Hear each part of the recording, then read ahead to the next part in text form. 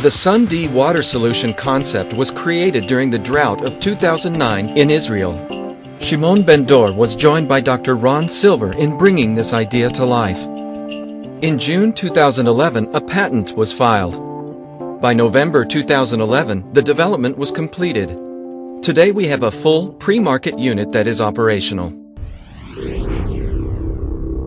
According to a UN report, some 900 million people worldwide lack access to safe water supplies. Over 3 million people die each year from water-related disease.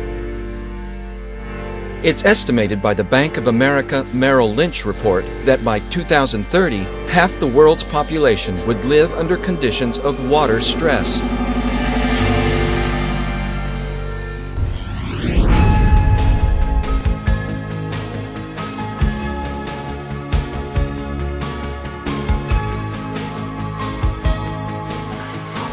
Salt water or contaminated water is pumped into the unit. Solar power heats the water until evaporation occurs.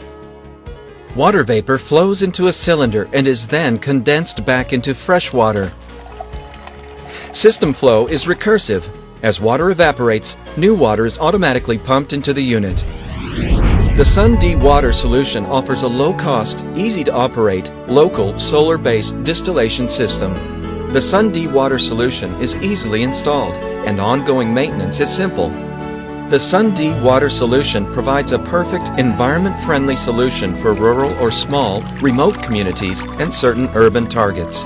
The unit has the capacity to produce fresh water at least five times the rate of other similar systems at a lower price point. The SunDwater solution utilizes natural and available resources for the process. SunDwater units can stand alone, producing hundreds of liters of water each day. They can also be deployed in a group, creating a water farm. These water farms have the potential of producing thousands of liters of water daily.